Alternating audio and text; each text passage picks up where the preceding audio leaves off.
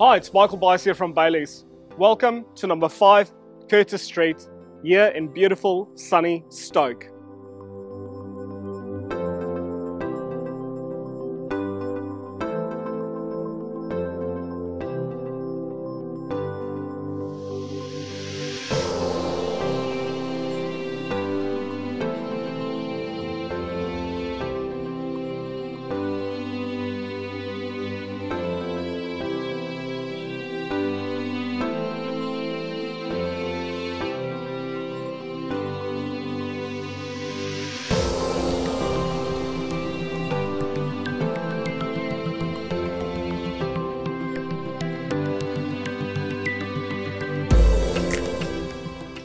I look forward to seeing you at the open home, or if you would like a private viewing, please call me today.